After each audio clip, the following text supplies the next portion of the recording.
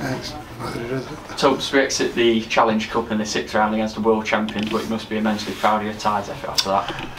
Uh, one minute to go to half time, we're winning 12 10, aren't? So, yeah, immensely proud. I thought I thought we were great. I thought we were great. We went toe to toe with them in that first 40 minutes, and as I say, they kicked a goal to draw level with us at half time. So, uh, we we had them. Um, we had them panicking a little bit, and I, and I thought we did again in the second half. I think they just come away in the start of the second half. They come out and blasted us a little bit. We got obviously Ollie uh, in the sin bin for the first ten minutes of the second half, and they just overpowered us a little bit. But then we came back into it, didn't it? And what were it, 26, 18 on 70 minutes or something like that. So they were they were twitching a little bit, and uh, and that's what I'm really proud of. We talked about uh, building a game. I think we had 90% ball control in, in the first half.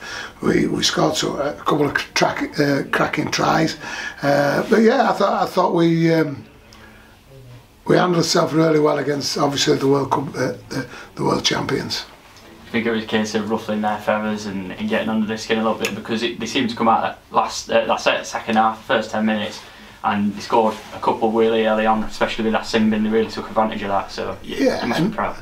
No, uh, obviously, you know, you're playing against a full team. The, the best team in the world. uh, You know, the big Penrith Panthers here. So uh, I'm immensely proud of, of, of our effort and our performance.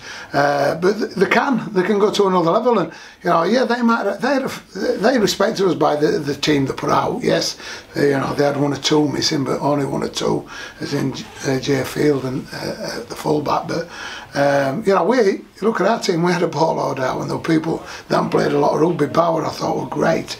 Uh, I thought Peter when he went, Isaac, and all the boys that were in and around it. I thought. Um, I thought I thought they did themselves uh, a heap of good. So uh, proud of my boys. Uh, I think that uh, you know we, we, we're showing signs of improvement, which I, talk about each, each week. We did last week against Toulouse. Raised the bar again today, and and you know 70 minutes. Uh, 26-18 uh, is a, is a credit to the boys. But you know, we, we talked about what ifs, you know, and what if we score first? What if we're in this game after 40 minutes? And what if and this? And, and I thought they took that into the game today, and I thought that um, we challenged them, and I, I think that we, we got a lot of confidence out of that. A lot of people uh, challenge themselves to.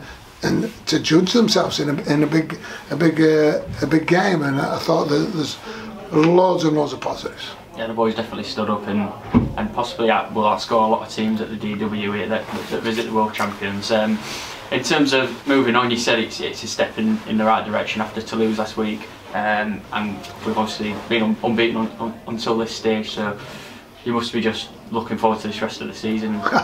Yeah, You uh, and obviously the big thing was today that we didn't come out of any injuries. Well, we had, Ollie tweaked his calf at the back end of the game there. Mice came off it were more.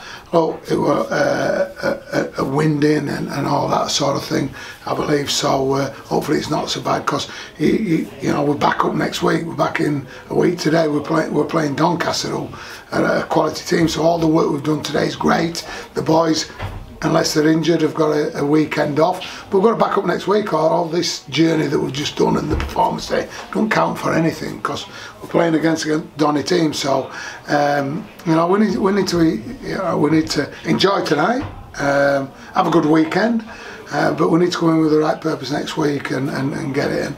There's going to be a few uh, um, tough decisions for me, is what I would say next week, because there's six or seven guys that'll be back available next week.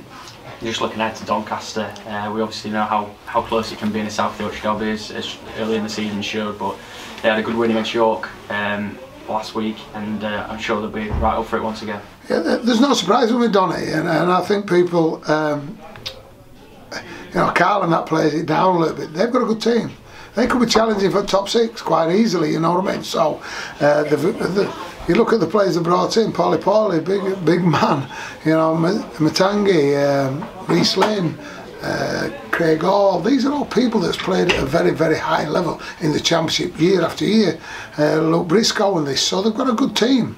They've got a, really, a real strong team. So, uh, you know, we had a we had a tussle with them in the 1895 Cup, didn't we? And, and came uh, came through it, but. Uh, they played well against York. I've watched the game already, uh, and I know that if we're not up to where we want to be, uh, we'll come up. So, we'll come so.